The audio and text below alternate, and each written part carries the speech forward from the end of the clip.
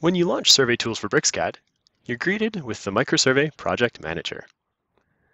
From here, I'm going to launch this first project. When you open a project, you get the general configuration options. Here we can select distances, bearings, as well as our coordinate system, scaling, and plotting information. This project is in a local coordinate system, so instead of using this Washington north zone in the NAD83 state plane system. I'm going to clear that and use a local coordinate system.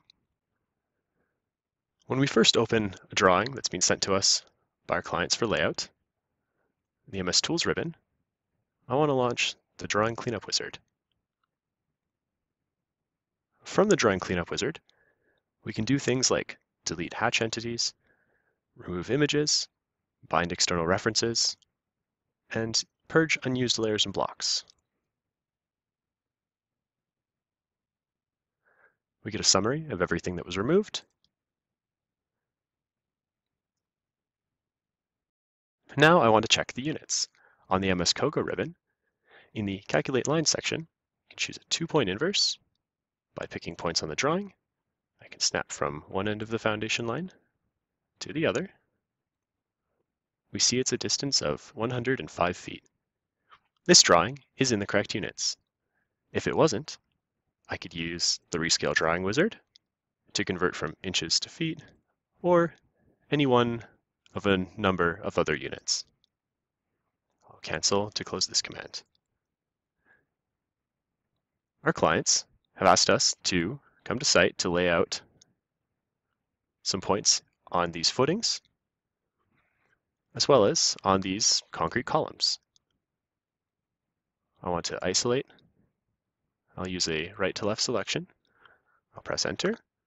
We've isolated the footing and the column layer. To add points to these, I'll add points to objects.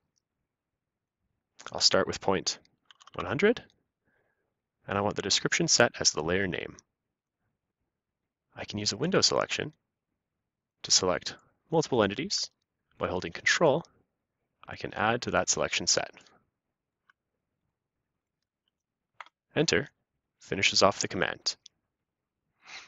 On the MS Points ribbon, I can turn on our independent point numbers and descriptions to be able to easily identify which point numbers are where and what I've created.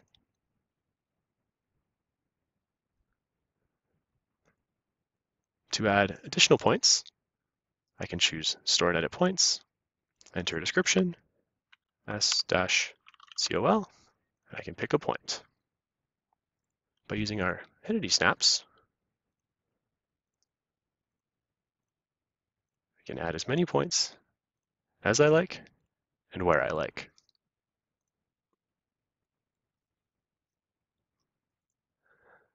I'll unisolate to get all of our layers back. And now I want to add points to the grid lines by using the coordinate grid lines command. I'll isolate just the grid lines, and I'll create points on the grid lines using the coordinate grid lines command. I'm using named grid lines, and I want to use named grid lines as the point ID. And I want to use a user-defined elevation of zero for these points. Okay, name of the first grid line in the series. We've been asked to start from H and work to M. So I'll type in H, press enter, select grid line H. Notice that we skip over I, go directly to J. So J, enter. K, enter. L, enter. M, enter, click. We're done with our letter, so I'll press escape to move on to the numbered grid lines. Grid line 1, enter, click. 2, enter, click. 3, enter, click. And 4, enter, click escape to finish, and create points at h1, j-1, k-1, h-2, j-2, k-2, dash 3, dash 4. Excellent. So now I'll unisolate.